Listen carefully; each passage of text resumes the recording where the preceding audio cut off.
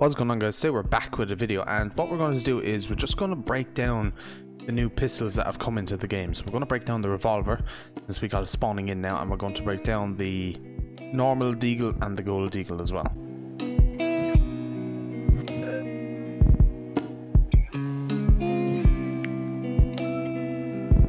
Okay, so first one we're going to run through is the Magnum.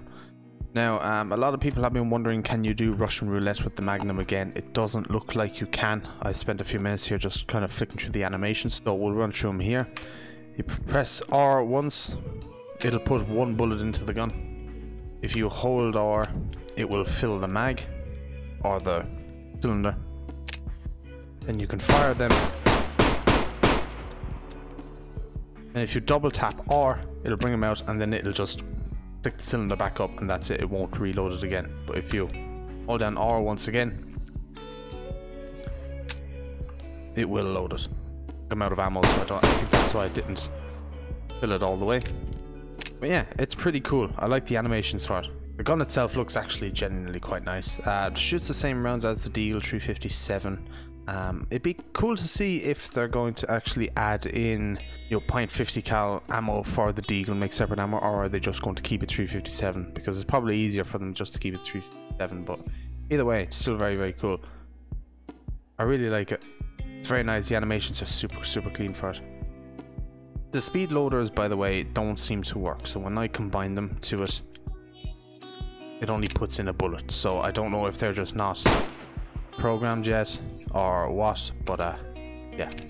Not working so there you go. So if you see them around the map you're still probably just better off loading them in one by one. Next up we'll start with the standard deagle. This one has all animations as well.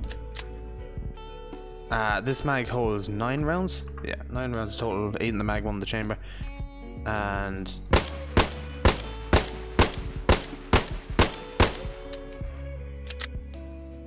has a decent bit of um, kick to it. But I won't control it, I'm just going to leave this fire by itself. Yeah, it's got a got a decent bit of kit to it, alright. Uh, but really, really cool. I like it. So with the Deagle as well, we're going to do this with the gold one, but you can do it with the standard one either.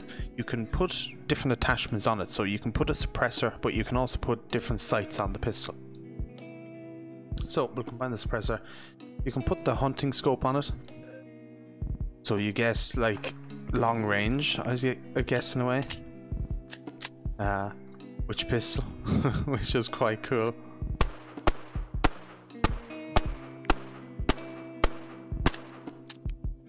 Definitely uh, is unique. I forgot that you could add sights to this uh, gun, so having a pistol long range scope too is quite nice.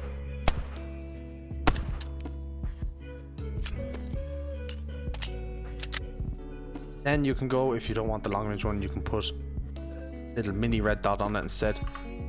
Put some batteries into this. And then you get something a bit more close range.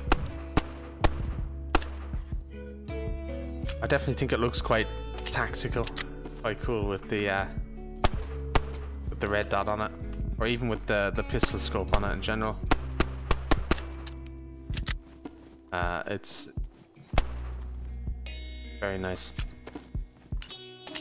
and the suppressor definitely does make it quieter. Uh, there is no accessories as far as I remember for the revolver. No, there is none, just plain revolver. So with that one, it's obviously going to be loud, so you have to keep that in mind. But with the Deagle, at least you can make it a bit more quieter if you want to be a bit sneaky, you know, or if there's a lot of zombies around.